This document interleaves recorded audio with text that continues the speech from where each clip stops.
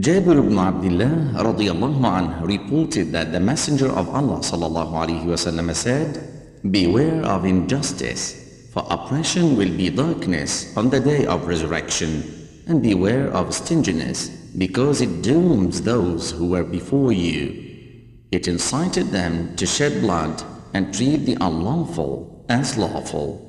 Narrated by Muslim.